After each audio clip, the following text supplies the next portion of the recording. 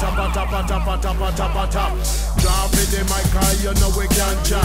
We no come sing, we no come fi rap. When we in a full flight, lyrics coming non-stop. Lyrics them a fire, and lyrics them a shot. We a good MC, we no round about. We are the hottest thing about uh, the on top. Everybody know what just us, so we stop. Chop.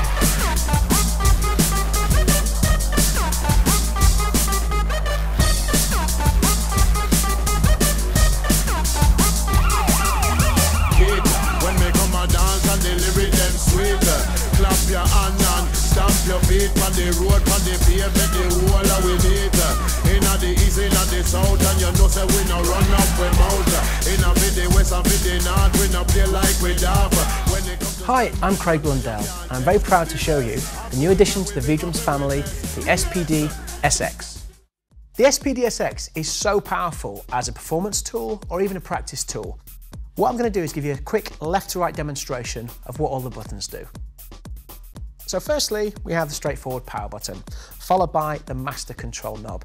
Now there's two separate outputs on the SPDS. We can use the master out, or we can send the sub out, which is just underneath the masters. So you can send to your bass player or other members of the band, um, or in a studio environment. We then have the headphone volume, and the most important thing for me, which, which really is relevant to drummers who want to use this as a live performance tool, is click. With the SPDSX, we can assign a speed of all the tempos of the pads and have the click in our ears, which is great for, if you want to um, play a pad or you want to play some keyboards live or a synth noise. You can start the whole band off by just basically hitting the pad and the click of that track will be in your ears. Really, really strong. So next up, we have Control 1, Control 2, Filter, Delay, S-Loop, which is my particular favourite, and Effects. It's probably easiest instead of going into how they all work, just to demonstrate what they do. So I'm going to just basically trigger a bass line on pad 8 here.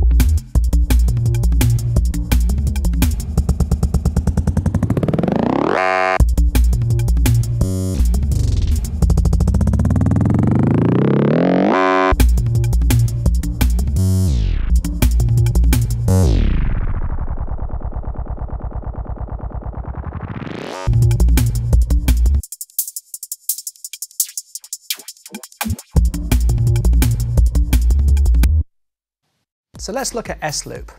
It's really, really cool for DJing live, obviously, and adding some really kind of effects to your arsenal. Now, if I can um, go into my main menu here, press menu, and then go to system and enter off system, I'm at master effect. There we are, S-Loop. Now it's saying manual, which is basically a sweep up or sweep down. I can change the values. If I go to auto quarter or auto eighth or auto 16th notes, you can change the texture of the S loop. So we'll go to quarters. I'll exit off that and exit again, and we'll do exactly the same thing playing it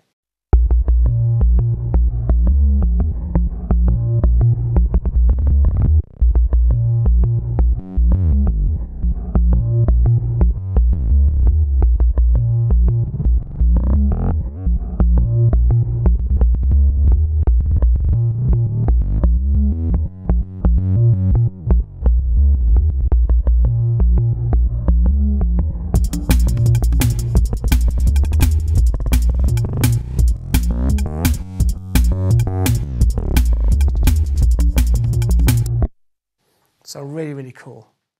So now we arrive at the screen and we see three shortcut buttons around the screen. Firstly, which is really important for me personally, if I'm playing live and one of the samples is slightly too loud, I can change the volume by pressing pad volume, hitting the pad and taking the volume down with my plus or minus. I can also choose which effects I want, or on or off. And finally, tempo. Now I can tap tempo or once again, I can change the tempo of the click. I want the click on, just press start or stop, or I can use it with a pad. Now when a sample's playing, there's two ways to test how loud that sample is on the SPDSX. If I hit the sample again, you'll see my pad illuminator is lit up. If it stays completely red, it means the sample's run too hot into the module. Or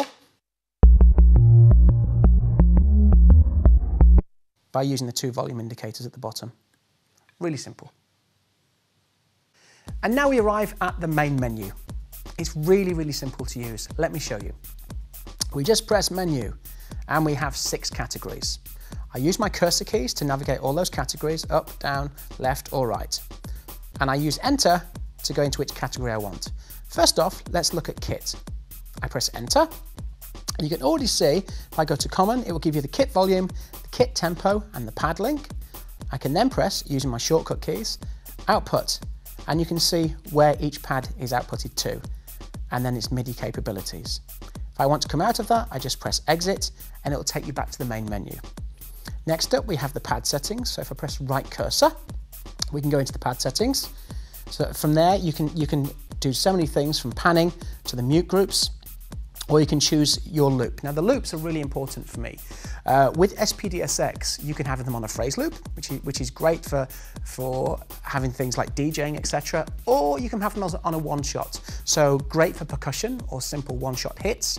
Or you can choose as well to how long, how, you, how long you want that loop to go for, two, four, or eight bars. Really, really strong. We then go to the sub outputs and the assignability of the sub. Once again, I press exit. We're then at effects, and press enter. And then you can see which controls which effect. Very simple again. Exit off it. We come down to utilities. Now this is really important to see how long you've got left sampling time in the SPDSX. So if I enter off that, I go down to information and I press enter, you can see we have 2 hours and 52 minutes of stereo time and 5 hours and 45 minutes of mono time. Really cool. Come back, once again, go to setup, where this is the general settings, so brightness, etc., sensitivity of each pad, really easy to navigate, and it's just up, down, left or right. And then finally, system. I can enter off the system. We have the master effect, the click, audio in or out, the kit chain, which is a real important one for me. So if I'm playing a gig and I have samples on, say, kit 2, and the next stage of it is on, say, kit 80, I can set up a kit chain, which I can just go between 2 and 80. So you don't have to go plus, you don't have to hold down shift and, and plus or minus to get to the kits. It will just go to the kit chain that you've set up. Really, really cool. And once again, I can exit off that. Or I can just press kit if I wanted to, and it'll take you back to your main user screen. So now let's take a look at the various connections on the back of the SPDSX. First up, we have the USB memory connector, as we discussed earlier. Secondly, we have the computer connector, so you can connect to your Mac or PC, and then your power. Followed by the MIDI in and out, and the gain knob. This adjusts the volume that's inputted into the audio jacks, which are next to it. Next to the audio jacks, we have the sub out, you can connect them to your mixer or audio system. These jacks output the sound of only the pads that you've specified. Next to the sub out, we have the master out. Underneath the master out, we have the headphone jack. Next to the headphone input, we have the trigger in jacks. And finally, the foot switch jack. A foot switch can be connected and used to control so many different things. And finally, for this short video, we arrive at what this unit is all about, sampling. There are three main ways we can input our samples for me personally, um, and they all work great. Uh, firstly, we use the audio inputs. So we could put in a keyboard, or we could put an iPod, um, or even a vocal. And what we pretty much do is press sampling, and you see we're on the screen of basic sampling. Enter off that, and it's pretty self-explanatory. Start, stop with your, each individual volume on there. Really simple.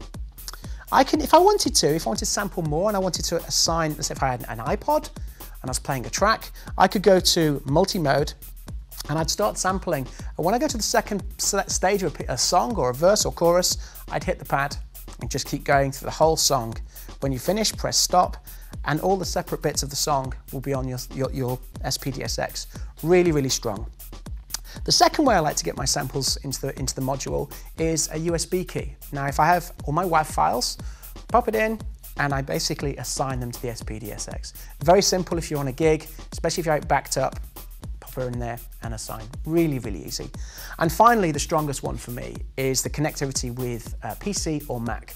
Now, it pretty much is drag and drop. What you do is connect it up, USB key, and it brings up a really cool picture, which you're going to see on your screen now, of the SPDSX with my sample library down the side. I can then change my kit patches, kit names, and I literally drag them from the left to the right onto the master or the sub outputs. Sampling has never been so easy. So there you have it, the SPDSX. Um, I've used it for over a month now. Incredibly strong, powerful, powerful musical instrument if you're just into practicing your favourite tunes or performing having a three-piece band and making them sound like a massive orchestra. This is for you. Don't check my word for it, play one for yourself. See you next time.